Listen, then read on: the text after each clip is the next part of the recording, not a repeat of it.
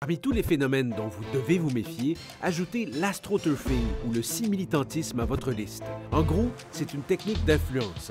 Quand des entreprises privées ou des groupes corporatistes créent de toutes pièces un mouvement citoyen à des fins commerciales. C'est ce que constate le chercheur belge Briolitz. Très bien, parfaitement. Montrez-nous, Dunois, certains exemples concrets qui vont nous aider à comprendre euh, comment ça peut se manifester, ce phénomène. Alors, un des exemples marquants de ces dernières années ou ces dernières décennies, c'est le cas de Philip Morris, qui en 1993 ou 93 a créé l'Alliance nationale des fumeurs. Donc, cette association prétendument de citoyens qui défendent les droits des fumeurs était en fait créée de toutes pièces par euh, l'entreprise de cigarettes et leur objectif, c'était en fait contrer les études euh, scientifiques. Mais sinon, je pense au Canada notamment, l'entreprise euh, Bell, qui a dû payer un million de dollars parce qu'ils ont demandé à leurs employés de mettre des commentaires positifs pour ces produits en, utilisant des faux noms. Donc c'est extrêmement euh, problématique.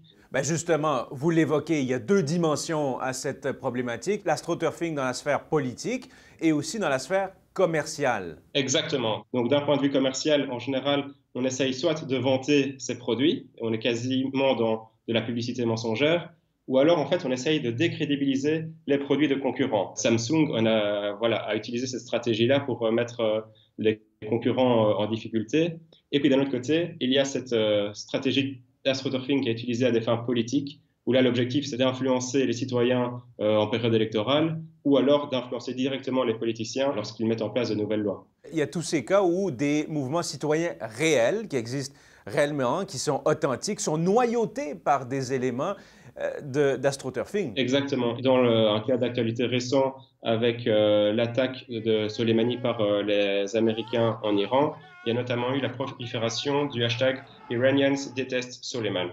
Et la question qui se pose, c'est est-ce que ce sont vraiment des Iraniens qui postent sur Twitter ces messages ou alors est-ce que c'est piloté par les Américains pour essayer de créer un sentiment de, justice et légitimité de, leurs actions? Au final, il y a une certaine hybridité du message entre l'astroturf et le, grassroots euh, légitime, on va dire. Comment on fait pour savoir, pour détecter, ah, ceci est un cas d'astroturfing, je me dois d'être méfiant? C'est extrêmement difficile. Dans le temps, il était facile de voir sur Twitter qu'on avait des sollicitations de comptes sans photo de profil, avec des pseudonymes qui étaient composés uniquement de chiffres et euh, de lettres aléatoirement. Et donc, il était évident que ces comptes-là étaient des robots. Maintenant, c'est bien plus compliqué. Notamment, donc, je mentionnais la ferme de trolls. Qu'est-ce que c'est? Ce sont des personnes réelles qui sont derrière des ordinateurs et qui sont payées pour envoyer des commentaires sur un certain sujet. Et donc, quand on a un message qui peut paraître suspicieux, eh bien, on peut essayer de le copier-coller dans un moteur de recherche ou sur Twitter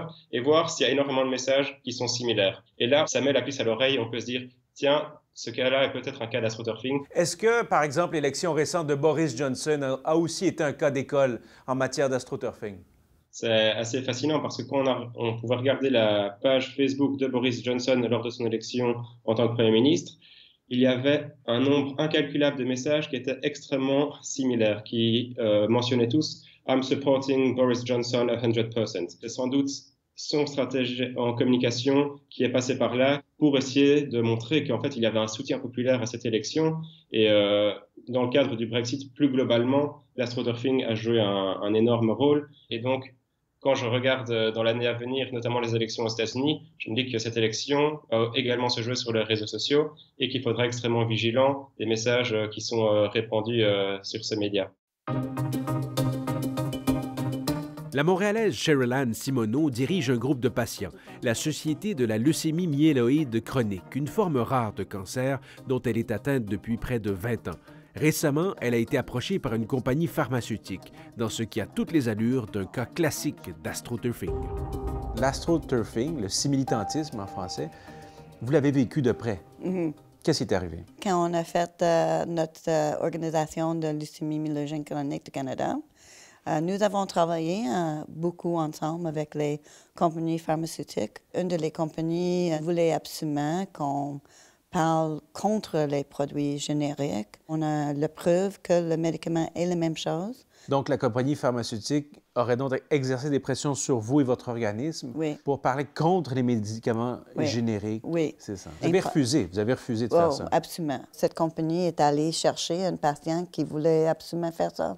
Et c'est facile à trouver parce qu'ils payent le voyage partout dans le monde. On voyage en première classe. On est comme des movie stars. Est-ce que c'est un cas isolé dans le secteur de la santé, selon vous? Le gouvernement fédéral a annon- annoncé qu'il veut implémenter un système de pharmacare. Now is the time to do more and to move uh, forward towards uh, national universal pharmacare. Les compagnies pharmaceutiques ne sont pas d'accord avec ça. Donc, euh, c'est sûr qu'ils sont en train encore de travailler avec les groupes de patients qui prennent euh, le côté de la compagnie pharmaceutique. C'est ça, pour que, la- pour que par, la, par la voie de la pression populaire, le gouvernement renonce à sa volonté d'exercer un plus grand contrôle sur le prix des médicaments. C'est ça qu'il veut, mais euh, le gouvernement fédéral, is- ils vont faire euh, tout ce qu'ils ont besoin de faire parce qu'ils savent que ça coûte très cher pour les Canadiens pour payer pour les médicaments innovatifs. C'est une forme de lobbying, en quelque sorte, le militantisme, sauf que c'est pas encadré. Mais les compagnies pharmaceutiques sont représentées par une organisation de lobbying, mais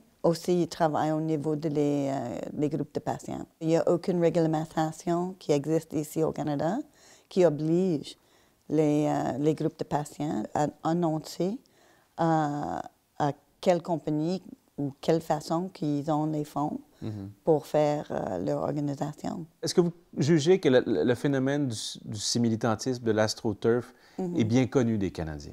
Je pense pas. Si vous n'avez pas vraiment un grand besoin d'être soigné, euh, c'est pas quelque chose que vous connaissez.